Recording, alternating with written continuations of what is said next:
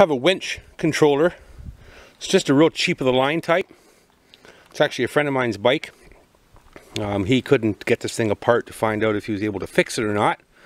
So I just about have it apart and I'm going to show everybody of what goes wrong with these cheap controllers and if they're fixable basically on a temporary basis. So I'm going to finish taking it apart and I'll come back to you and show you the insides. Okay, the cover's off and this is how it looks so far. And I can see a little bit of corrosion here. And that's about it for there. So I'm going to clean that contact up. But at the same time, I'm actually going to pull this black switch off. It's like a double double pull switch basically is what it is. So when I get that apart and off, I'll show you what the insides look like because I'm pretty sure the contacts are dirty inside. So the aim here and the goal is is to uh, clean them contacts up so it performs better for the fella. So I'll be back with you when I get to that step. Well, I got the box apart. And you can see the contacts in there, the little black spots. They were posing a little tiny problem. So I'm going to remove them black spots, basically like carbon, to give them a nice fresh contact again. You can see them there, the black spots. There's one here, it's pretty heavily black. So what ends up happening is when those two contacts come into contact, uh, that carbon air is kind of basically acting like a barrier and stopping the current flow.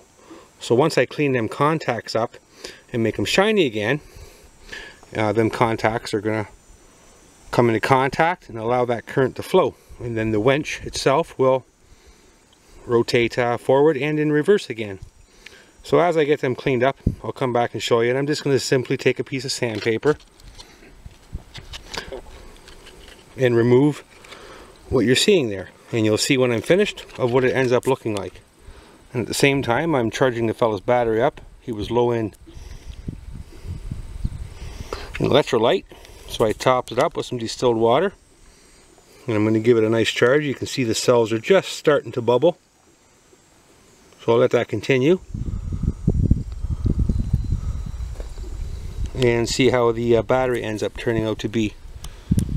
Right, I'll be back with you. There you can see all the contacts are nice and shiny again. That's how they need to look. Not brand new shiny, but they're still shiny enough that it'll make good contact again for a short period of time. Because after all, this is a very cheap, low grade winch controller. But just the same, it'll work for the fella for another who knows how long. So I'll put it all together and uh, let's test it out and I'll show everybody and see how good the contacts are making their contact and how the winch moves back and forward. All back together. Let's try the buttons out and see how it sounds. It's good that way without too much pressure being pushed. And it's good that way without too much pressure being pushed.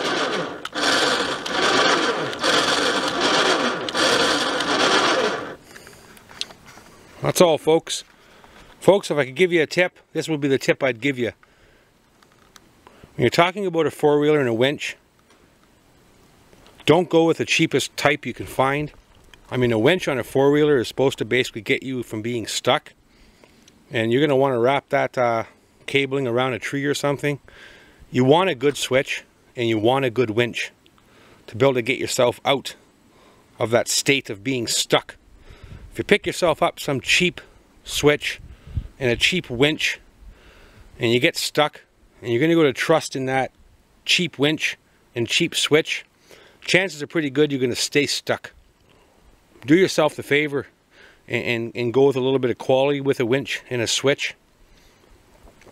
That's just a tip that I would recommend you to do. It's entirely up to you, of course.